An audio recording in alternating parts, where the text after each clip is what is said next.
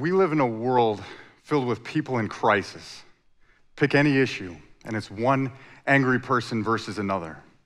It seems like it's becoming difficult to have a thoughtful conversation with anyone who has beliefs different from our own. Simple disagreements turn into heated arguments between two outraged people that often end up in shouting or even violence. And it's not just people, now it's groups and organizations, political parties or even entire countries.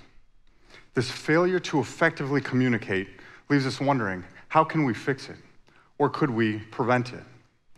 I'm a police officer, and I have some training and experience in crisis and hostage negotiation. I've been part of some pretty complex incidents that required a positive resolution.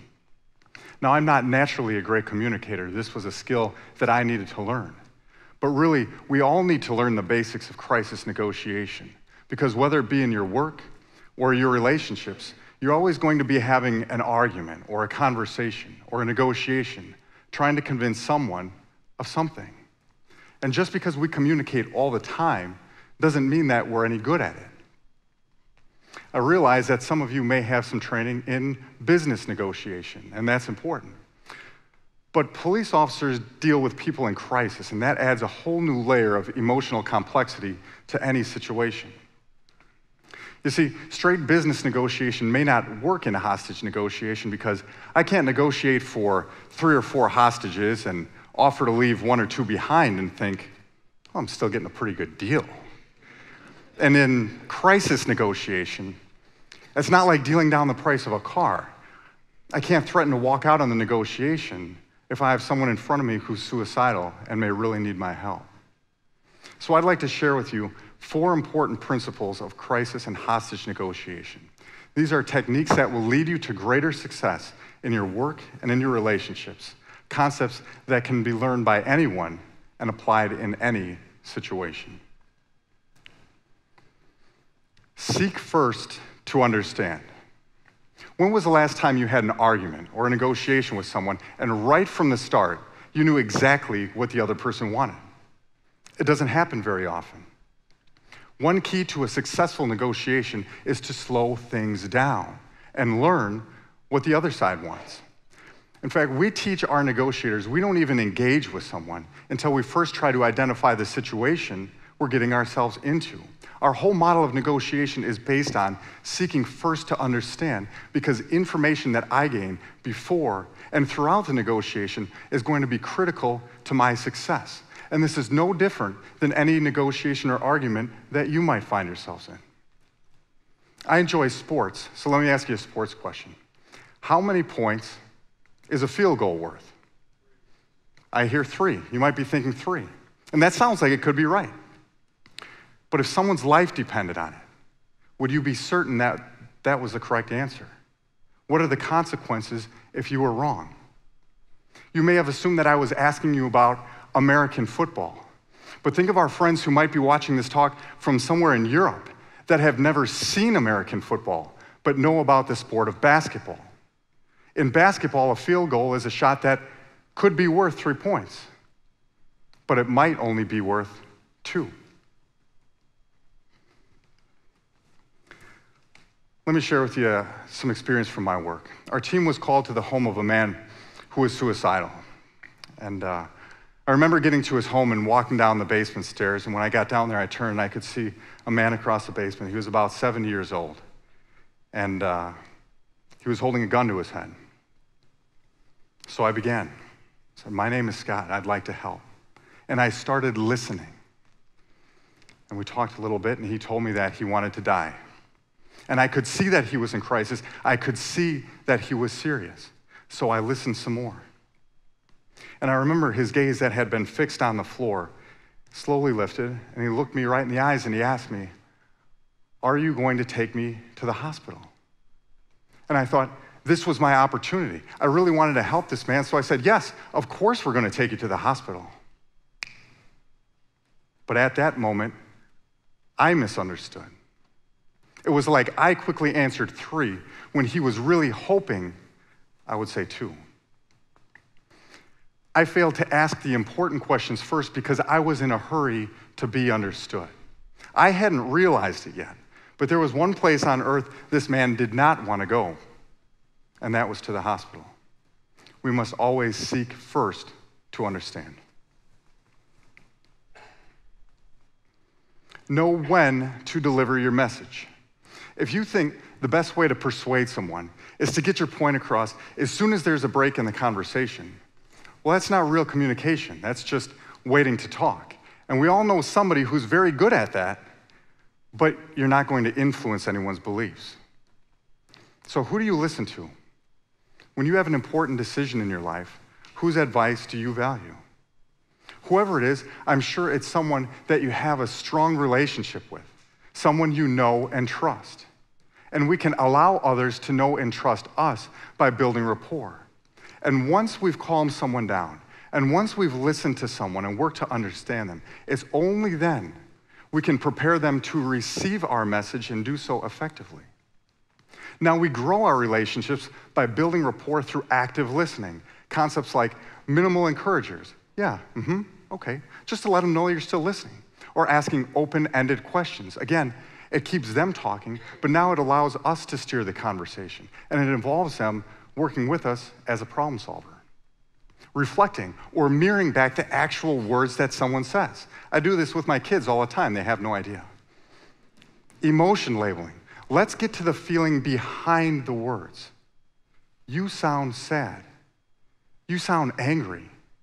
Paraphrasing, anybody can do that. Use I messages. I want to help. I feel we're making progress here. Or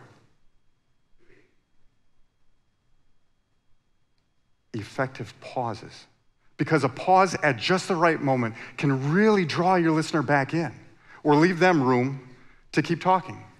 Finally, summaries. We don't tell people, I understand. That's superficial. Instead, we demonstrate to them that we understand by using our own words to summarize all the words they said with all the emotion they said it with so we can get them to the point where they say, That's right. These are the skills of active listening. And some people dismiss it and say, Yeah, well, I know about that. It's the great negotiators who actually master this and can do so with empathy and compassion. So, in a city not too far from here, the police went to the home of a man to arrest him. But before they could get him, he grabbed two butcher knives and ran up on the roof. They called for the SWAT team to help out. So I get to this home and I can see it's a, a two story single family house, and there's a man on the roof, and he's got two big butcher knives right to his throat. Our lead negotiator for this call was my partner, Jeff. And Jeff got this guy on the phone. He was doing a great job of active listening, but we were having trouble keeping his attention. So we came up with a plan. I went to the neighbor's house, went inside, went up to the second floor to a window closest to where this guy was at, up on the roof. And my job was to try to exert influence on him without first building rapport. And we know this should never work, but I thought if I did a bad enough job negotiating, maybe we could get him focused back on Jeff. So, in my best police voice, I told him, drop the knives, put the knives down, and get off the roof. Surprisingly, that didn't work. But it did get him focused back on Jeff. But he wasn't asking Jeff for help on coming off the roof, he was asking Jeff for help on how to get rid of me. But that was okay because we had his attention. And it's only once we have someone's attention and we've calmed them and listen to them that we can effectively deliver our message. Know when to deliver your message. It's not what you say, it's how you say it. So, for years, as people learned that I was a hostage negotiator, they would all ask me the same thing. So, what do you say to people to get them to come out? Well, there, there is no magic phrase to, to get someone to come out. Or if there is, they haven't told me what it is yet. But we do know that 7%, only 7% of communication is in the actual words we use. The majority of it is in our nonverbal body language. And that's really difficult to do when you're on the phone with somebody, and traditionally that's how we do most police negotiations. The rest of communication is in your delivery, your tone, or how you say what you say. Why are you here? I mean, no, really, why are you here? Some of you are here right now listening to me, hoping to hear something insightful about negotiations or psychology or communication. And I realize the rest of you are stuck with me because you couldn't find anything else to do. But if I ask you this way, same four words, why are you here? You may begin to think uh, we shouldn't be there. Maybe we should be somewhere else. Or perhaps the good speakers across the hall and we should go listen to them. Same four words. Why are you here? Now I've just insulted you because it sounds like the rest of us, we all belong here. We're part of something special, but you, you're not invited to our party. It's all in how you say what you say.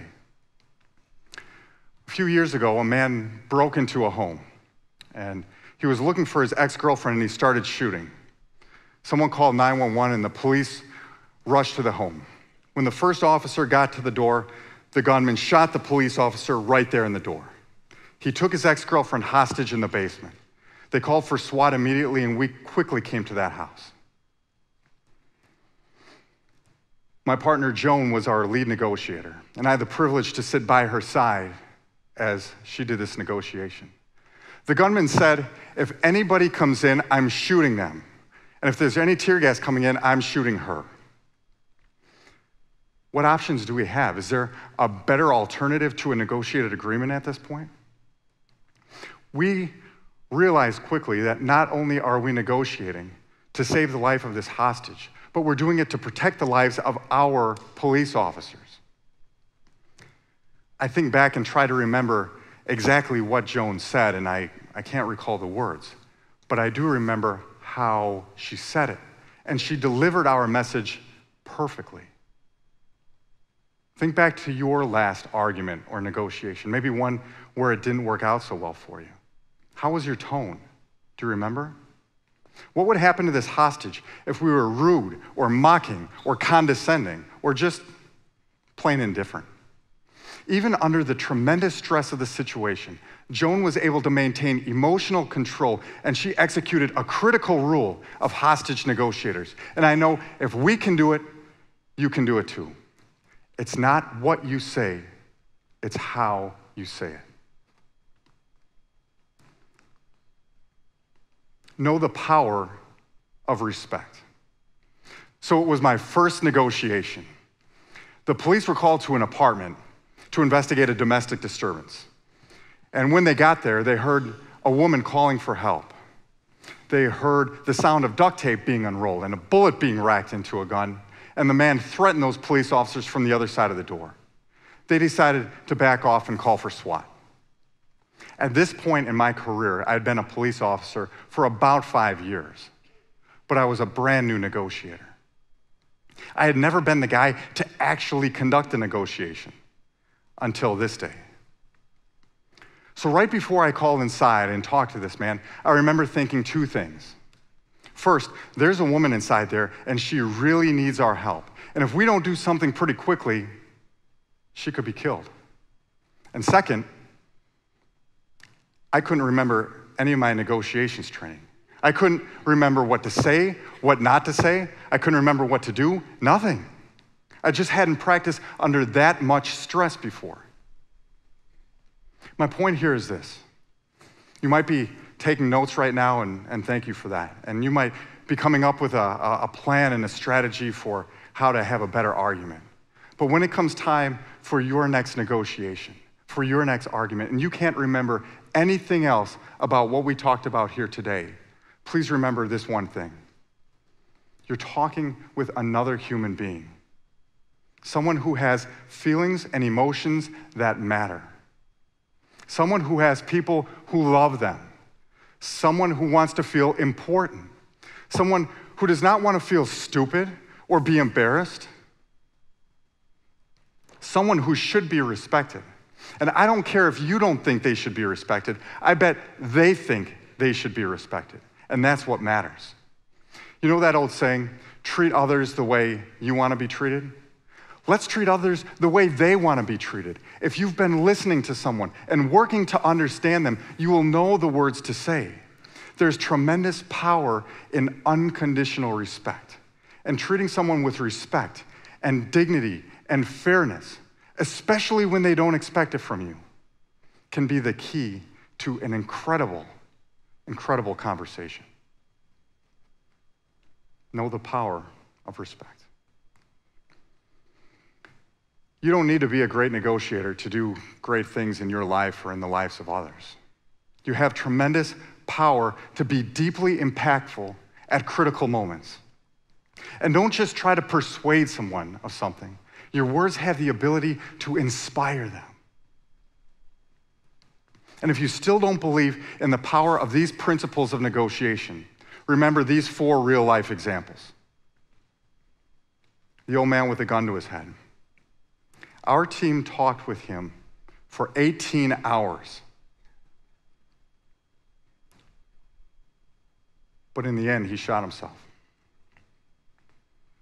And I was told that he lived, that he was given a second chance at life. And I look at that as my second chance as well. And I will never, ever, ever forget that we must always seek first to understand. Or the guy with the knives to his throat. Once we had his attention, we could assure him of his safety. And we knew that he was in a place that he could hear us and he could process that message. And that's when Jeff asked him to put the knives down and come off the roof. And he did because we knew when to deliver the message. Or the woman who was held hostage in her basement. Joan did everything she could to control how we delivered that message. And I know in my heart that Joan is a huge reason why that woman is alive today, physically unharmed from that situation. And the police officer, thankfully, he survived as well. And finally, my first negotiation where I couldn't remember what to say. I talked to that man with dignity and respect. And before I realized it, we had reached a peaceful surrender. I believe that through our model of negotiations, we can improve policing. We can improve society, but we must first begin by improving ourselves. These are the principles of hostage negotiation. But there's so much more broad than that. These are the principles of basic human relationships. And once you get good at them, they're the principles of leadership and greatness. Could you imagine if we lived in a world where we took time to listen to each other and understand each other and civilly discussed our differences and did so with dignity and respect, now you know the secrets of hostage negotiators. And I promise you, the first step in changing the world can begin with you. Thank you.